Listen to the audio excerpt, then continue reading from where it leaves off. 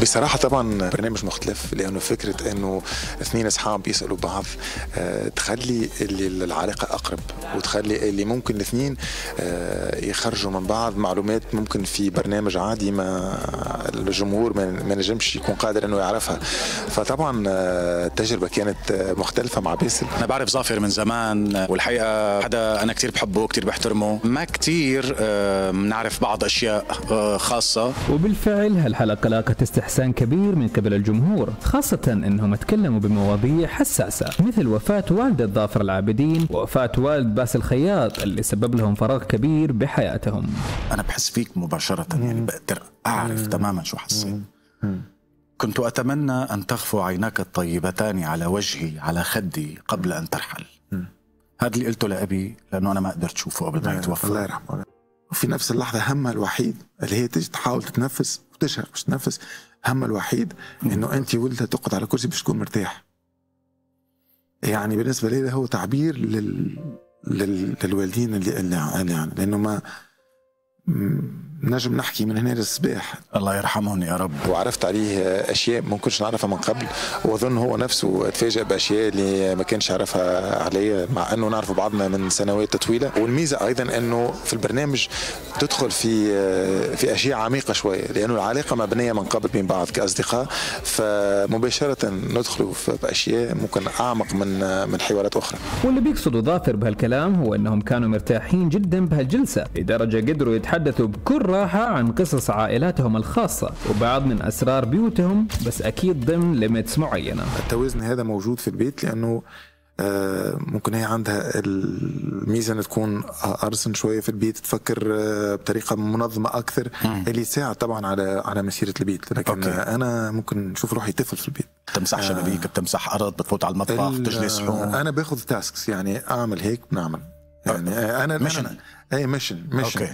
مشل. أنا مثلا بعتني بالمطبخ. مثلا مطبخ تنظيف المطبخ كذا. يعني عادي جدا. مثلا لو هي تطبخ أنا بنظف بعدين. okay. لو آه، بنقسم ال tasks علاقتي في العائلة مع في بيتي والعلاقات اللي ممكن تكون فيها هي في العادة ما نتكلمش فيها في الحوارات. آه، فأكيد لأنه already نعرفوا بعض وأصدقاء فممكن هو تمكن ياخذ معلومات أكثر من اللي نقولها في العادة. وبهاليوم قدر الجمهور يكتشف لأول مرة أمور جديدة personal عن حياة باسل أحكي لك قصة هاي أول مرة بحكيها بحياتي. حبيبي. آه كنت أنا بدبي ومريت بظرف صعب أنا جدا في حياتي بعد ما صار في عنا المشاكل في سوريا وانتقلت من سوريا. وقعدت تقريبا أنا سنتين في حالة اكتئاب رسمي تماما.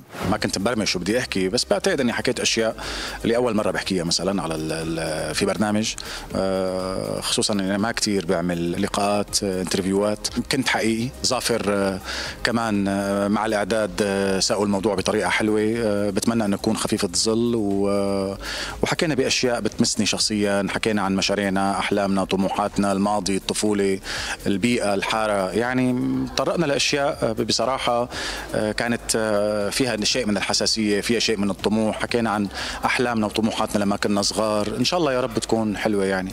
بس كنت صريح جدا. وتكلموا كمان عن أعمالهم ومنها فيلم غدوة اللي قام ظافر بإخراجه وشارك بكتابته وتمثيله وإنتاجه. باش يكون موجود قريبا إن شاء الله في مهرجانات مهمة وسعيد جدا بالتجربة وشغوف ردة فعل الجمهور وإن شاء الله يكون موجود أيضا في القاعات العربية قريبا إن شاء الله. وحبينا نعرف قصة الفيلم. فيلم اجتماعي بين علاقة بين أب وابنه لكن تبان علاقة طبيعية ويعني وكأي علاقة في الأول لكن كل ما نتعمقوا في الفيلم كل ما نتعمقوا في كما نقولوا في عمق العلاقة هذه وفي صعوبة العلاقة اللي أحيانا ممكن الابن يولي هو الأب في ظروف اجتماعية مختلفة وصعبة.